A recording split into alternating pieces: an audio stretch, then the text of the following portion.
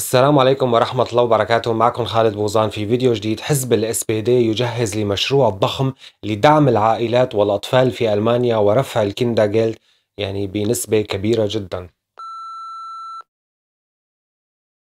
الحزب الديمقراطي الاشتراكي ال SPD عم يقوم الآن بتجهيز مشروع ضخم لدعم العائلات والأطفال في ألمانيا بشكل واضح وكبير بقيادة Frau Dreyer هي حاليا نائبة رئيسة حزب ال SPD وبنفس الوقت هي رئيسة وزراء مقاطعة Rheinland-Pfalz عم بتجهز لمشروع ضخم لدعم العائلات والأطفال. الحديث عم بيتم عن عملية دمج ال Kindergeld وال Zuschlag وتعقيداتهم بمشروع واحد لدعم الأطفال والعائلات وعم بيتم في الحقيقة الحديث عن مبالغ كبيرة تتراوح بين 250 يورو على أقل حد و478 يورو كأقصى حد للأطفال أو الأولاد اللي عمرهم فوق ال 14 سنة. إذا نحن عم نتحدث عن زيادة كبيرة لأنه بنعرف إنه حاليا الترفيعه الأخيرة كانت بداية 2019 ارتفع الكيندا جيلت من 194 ل 204 يورو للولد الأول قلنا 204 يورو الولد الثاني 204 يورو الولد الثالث 210 والولد الرابع فما بعد فما فوق يعني خامس سادس 235 يورو بالشهر. هذا الحكي أنا حكيته بشرحته يعني السنة الماضية وتم تطبيقه بداية هذا العام أيضا. أكيد كل الناس اللي عندها أطفال بتعرف إنه ارتفع آه، الكينداجيل في ألمانيا. فرفع الكينداجيل بداية عام 2019 كان بنسبة 10 يورو يعني كان الكينداجيل 194 يورو ارتفع صار 204 للولد الأول والثاني قلنا. ولكن الآن عم بيتم الحديث عن يعني رفع كبير للكينداجيل في ألمانيا يعني نقول أقل شيء يعني 250 يورو للطفل الواحد. وأيضا ميزات أخرى رح تشوفها الآن. لحتى نقدر نفهم هذا المشروع بشكل أوسع الآن رح نتحدث عن أهداف هذا المشروع. الهدف من هذا المشروع حسب رايي فهو تغير رئيس مقاطعة يعني أو رئيس وزراء مقاطعة Rheinland-Pfalz هو إنه سيتم دعم الأطفال في العائلات الفقيرة. كيف يعني؟ لحد الآن كان ال Kindergeld هو رقم ثابت. نحن عم نقول إنه الولد الأول بياخد 204 يورو بالشهر. الولد الثاني 204 كمان. الثالث بصير أكثر 210 الرابع 235 فنحن عم نتحدث عن أرقام ثابتة بالشهر.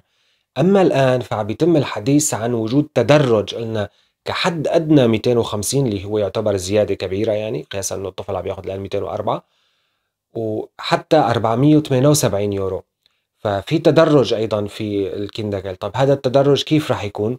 قلنا الهدف هو دعم العائلات الفقيرة أو الأطفال في العائلات الفقيرة.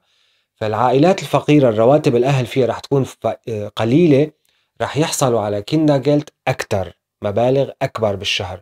والعائلات اللي دخلها كبير يعني معاش الأهل أكبر رح يحصلوا على Kindergeld أقل. إذا الفئة المستهدفة بشكل رئيسي وبالتدرج هن العائلات الفقيرة يعني الأهل عم بيروحوا بيشتغلوا ولكن دخلهم محدود أو رواتبهم مي عالية مثلا هدول رح ياخذوا Kindergeld أكبر.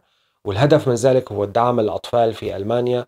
بنعرف سياسة ألمانيا نحن كتير بتركز على هالموضوع دعم الأطفال دعم حتى العائلات اللي عندها أطفال. والهدف هو إنه الأطفال هي هن مستقبل ألمانيا. وزير الشؤون الاجتماعية هاي قام باقتراح يعني هكذا شيء قبل أشهر كمان كان عم بيتم الحديث عن الموضوع يعني إيجاد مشروع ضخم وجديد وجديد لتعديل قانون الكندا جيلد والكندا تسوشلاك وهالأشياء ودمجهم يعني واستثمار أكبر بالطفل.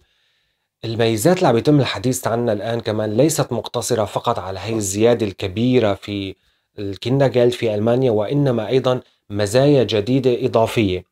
مثل مثلا عم يحكوا الآن عن وجود مثلا Konto راح يعطوا فيه Kinderkarte راح يحطوا فيه 30 يورو بالشهر. راح يخصصوا لكل طفل 30 يورو بالشهر مع بطاقة ممكن من خلال الأهل يسجلوا فيها الأطفال في Sportvereine يعني الأندية الرياضية مثلا يروحوا يلعبوا طابة أو رياضة في نادي لأنه الأندية لهم رسوم يعني كمان شهرية أو سنوية عادة. ثانيا مثلا تسجيلهم في مثلا Musikkurse يعني كورس الموسيقى يتعلم على آلة موسيقية أو يروح على الأندية الرياضية مثلا مثل المسابح مثلا. فالحديث عم يتم أيضا عن إعطاء Kinderkarte يحطوا فيها 30 يورو مبلغ 30 يورو لكل طفل في كل شهر. فهي في الحقيقة الهدف منها أيضا هو دعم الأطفال في العائلات الفقيرة عادة العائلات يعني الفقيرة رواتبها أقل. ما بتبعت كتير أطفال على نشاطات كبيرة باعتبار إنه الأصل المصاري يا دوب عم بتكفي مثلا للعائلة والمدارس والمصاريف والأكل والشرب والميتة وهالأشياء.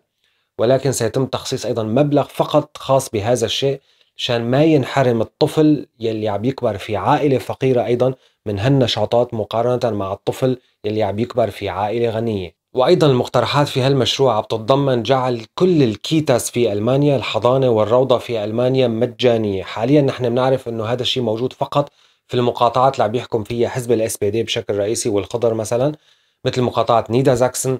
فال Kindergarten وال Kitas هون مجانية.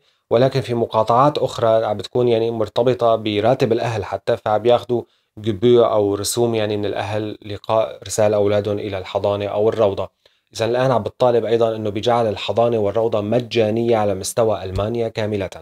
أيضا المشروع بيتضمن لجعل ال Nahverkehr في ألمانيا للأطفال مجاني. ال Nahverkehr مقصود فيه عادة هذا كمان شيء ممكن نستفيد منه الآن من خلال هذا الخبر. ال Nahverkehr مقصود فيهم يعني مواصلات النقل الداخلية داخل المدينة المقصود فيها عادة الباصات يعني وال Straßenbahn اللي بتمشي ضمن المدينة ولا يقصد بها مثلا ال S-Bahn أو ال Regionalbahn اللي كمان بتتنقل يعني أحيانا بين محطات كبيرة داخل المدينة مثلا Bahnhof وبعدين مثلا West أو Ost يعني هدول لا. رح يشمل ال Nahverkehr يعني الباصات وال Straßenbahn ات بحيث إنه يسمح للأطفال أيضا بالتنقل بشكل مجاني مثل مثلا الذهاب إلى كورس اللغة أو إلى المدارس أو إلى كورس الموسيقى أو إلى النادي الرياضي. إذا عم بتطالب أيضا بجعل ال Nahverkehr في ألمانيا للأطفال مجاني. من الواضح إنه الأحزاب الكبيرة ال SPD وال CDU عم بيحاولوا الآن يجتذبوا يعني الناخبين في ألمانيا خاصة بعد التراجع الكبير في استطلاعات الرأي وأيضا في الانتخابات منذ عام 2015 بنعرف أنه هدول الأحزاب سموه ال Volksparteien عادة أحزاب الشعب هي الأحزاب الكبيرة عادة يعني المستشار الألماني بيكون إما من حزب ال CDU أو حزب ال SPD. بسبب تراجع الكبير عم بحاولوا الآن هي الأحزاب يرجعوا لأصولهم. حزب ال CDU معروف عنه أنه هو حزب الطبقات المتوسطة والشركات وما فوق. حزب ال SPD مثلا الديمقراطي الاشتراكي معروف عنه إنه هو حزب العمال والطبقات الفقيرة ودعم العائلات بشكل خاص. فهذا الشيء عم يندرج هذا المشروع عم يندرج الآن في يعني إطار عودة الحزب إلى جذوره على ما يبدو تحضيرا للانتخابات القادمة في ألمانيا. بعد سنتين بنعرف المستشارة الألمانية رح تمشي وبالتالي الأحزاب الكبيرة يعني رح تتنافس على منصب المستشارة أو المستشارة في ألمانيا. المشروع الضخم هذا لحزب ال SPD هو مشروع بيتم الحديث عنه. رح يتم طرحه ومناقشته في مؤتمر العام للحزب بالشهر القادم في شهر ديسمبر وسيتم نقله إلى الحكومة الألمانية وربما إلى أقصى حد يعني إلى الانتخابات القادمة فيما لو يعني حصل ال SPD على أغلبية أو دخل الحكومة أو الحكم مرة ثانية فهذا المشروع هو المشروع الضخم الخاص بحزب ال SPD في الحقيقة هو يعني نقلة نوعية جدا يعني رفع رواتب الأطفال وهالزيادة يعني بشكل كتير كبير يعني واضح إنه في هالمرة رح يجي نقلة نوعية يعني في دعم الأطفال والأسر في ألمانيا. صحيح نحن عم نشهد أيضا ارتفاع في الأسعار بشكل عام في ألمانيا يعني اجار البيوت المواد الغذائية أيضا عم ترتفع ولكن الحكومة الألمانية أيضا عم تدعم بشكل أو بآخر هنا وهناك رفع الرواتب سواء الحد الأدنى للرواتب في ألمانيا ال Mindestlohn عم بيتم رفعها كل فترة أو دعم العائلات أو مساعدات ال Jobcenter حتى ال Sozial Arbeitslosengeld 1 أو 2 اذا في دعم. يعني مع ذلك الحكومة عم بتحاول قدر الإمكان أيضا إنه ترفع دعمها للشعب الألماني. أكيد يعني هذا الشيء هلا هي الظاهرة هي تشكل يعني تضخم أيضا يعني هي عملية تضخم. ولكن طالما في رفع من الدولة و يعني بالرواتب ودعم الدولة للشعب وبنفس الوقت عم بيصير في ارتفاع في الأسعار وأجار البيوت يعني قدر الإمكان عم بيحاولوا يعملوا توازن بين هالشيئين. يعني في الحقيقة يعني الحكومة الألمانية مع ذلك يعني عم تعمل نقلات نوعية بشكل مباشر. أكيد يعني الناس اللي عايشة مثلا خمس سنين في ألمانيا صار شهدت يعني بشكل تقريبا شبه سنوي رفع رواتب ومساعدات مثلا ال Jobcenter كل سنة 7 8 يورو 10 يورو. ال Kindergeld عم يرفعوه بشكل دائم ال Mindestlohn عم يرفعوه بشكل دائم. اذا مع ذلك في دعم كبير للشعب موجود أيضا.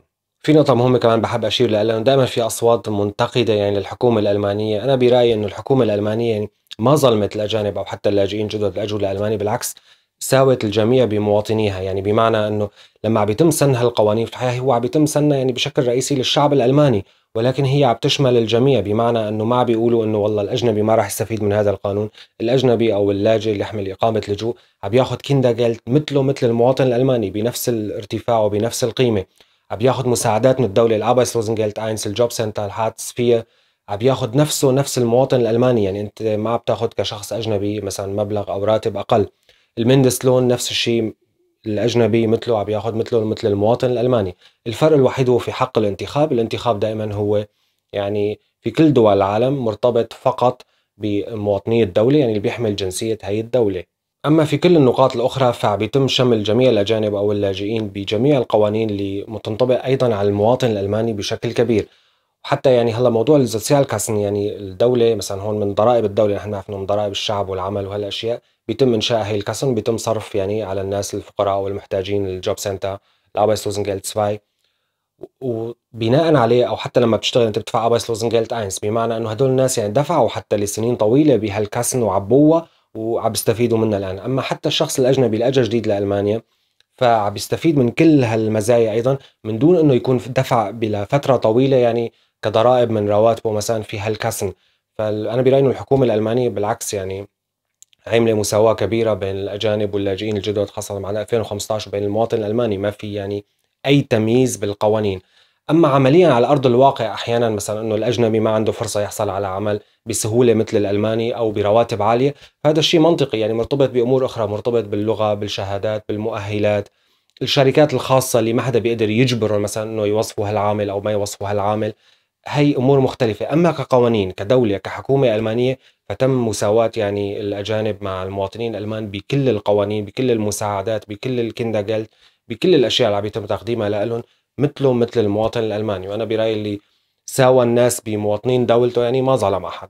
ما بصير ننسى كمان إنه ألمانيا من الدول القليلة اللي ساعدت اللاجئين بشكل كبير وضخم يعني اللاجئين بالمانيا بشكل عام بيحصلوا على مزايا مثلهم مثل المواطن الألماني مساعدات شهرية بيت رواتب كينداجيل كل شيء عم تاخذ كل المواصفات قدموا لك كورسات لغة قدموا لك كل شيء في ناس يعني مثلا لأي ظرف كان عم تتعلم لغة أو أو عم تدرس يعني صار لها أربع خمس سنين مثلا موجودة في المانيا لسه ما اشتغلت ولا يوم ومع ذلك دعم كامل من الحكومة الألمانية. يعني قلائل هي الدول في العالم اللي قدمت هالمساعدات الضخمه جدا أيضا للاجئين في بلدها يعني مقارنة مع دول أخرى يعني فالمانيا وكم دولة غنية هون في أوروبا ربما كندا أيضا. اذا في كم دولة يعني المساعدات ضخمة فيها للمواطنين وللأجانب الموجودين فيها بينما هي أقل بكثير من في دول أخرى. يعني أكيد في كثير دول بتستقبل أيضا لاجئين ولكن ما بتقدم لهم كل هالمزايا يلي قدمتها ألمانيا للناس. حبيت اطلعكم على هالمشروع القادم المهم. طبعا في ألمانيا كمان لازم نتعلم هالأشياء. يعني أنا بطرح هالأمور دائما مشان نتعلم كيف تبلش الأمور في ألمانيا. يعني تم صياغة القوانين تحضير القوانين بعدين تعديلها بعدين طرحها للتصويت في البرلمان. تلقى دعم من الأحزاب ولا لا؟ تتحول لقانون نافذ. اذا هالأمور دائما بنمر فيها فالناس اللي عايشة في ألمانيا أكيد بهمها تعرف دائما شو عم بيصير بهالبلد لأنه هي الأمور وهي القوانين هي بتمس كل الناس اللي عايشين في هالبلد سواء المواطنين الألمان أو حتى الأجانب. لأنه مثل ما بنتذكر في مساواة بين الاثنين بالقوانين مقابل الحكومة الألمانية. هذا كان كل شيء هذا الفيديو. أتمنى أكون أفدتكم خلال المعلومات. رح أنشركم أيضا رابط ممكن تقروا فيه التفاصيل أكثر باللغة الألمانية. تحياتي لكم جميعا. والسلام عليكم ورحمة الله وبركاته.